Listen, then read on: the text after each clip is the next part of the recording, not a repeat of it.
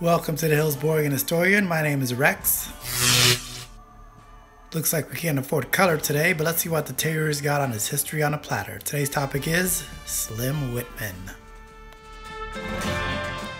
Ottis Dewey Whitman Jr. was born in Tampa in 1923. He grew up loving country music, baseball, and fishing.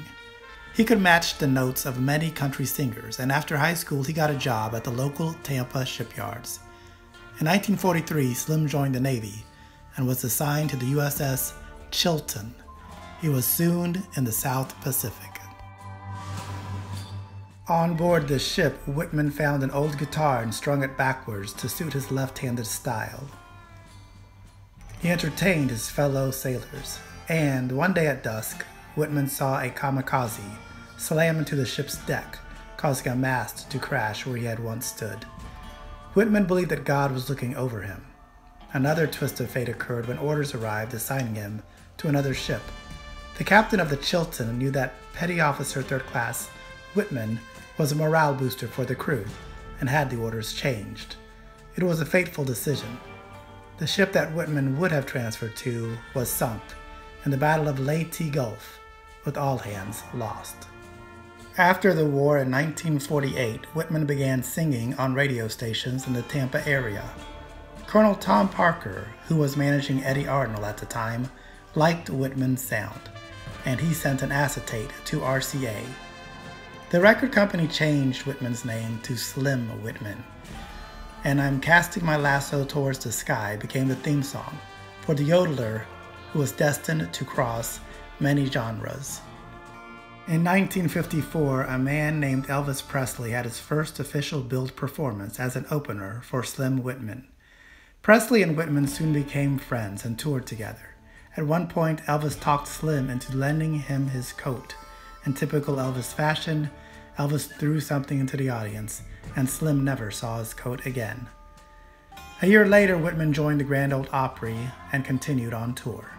In 1956, Slim was the first American country artist to play at the London Palladium, and tickets were sold out seven weeks in advance.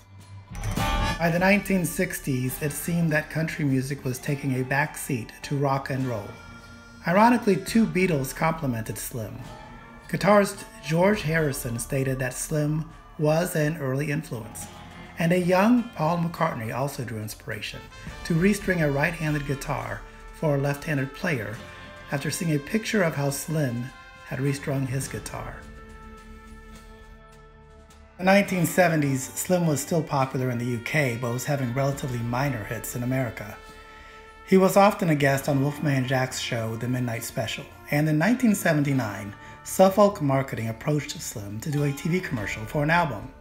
Initially skeptical, Slim did the commercial and was soon fodder for Johnny Carson monologues and SCTV skits. But it was Slim who had the last laugh. Eventually, over 4 million copies of the album were sold. And Slim was soon a guest on the late night shows that once mocked him. David Letterman even tried on Slim's jacket, and this time, Slim made sure to get his jacket back.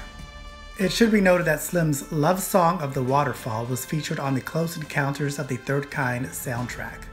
And in 1996, the film Mars Attacks features Whitman's rendition of Indian Love Call, which is actually used as a weapon against the alien invaders.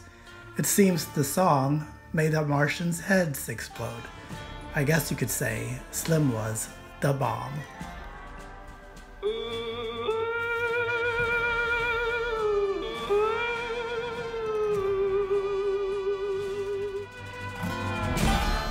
Slim Whitman did retire from singing in 2010 and sadly passed away in 2013, leaving behind a great musical legacy and proving that terriers never give up.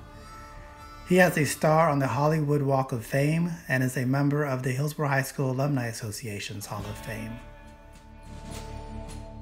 Well, as they say on Mars, ak ak. Please be sure to like, share, and subscribe. Take care of each other and as always, go big red.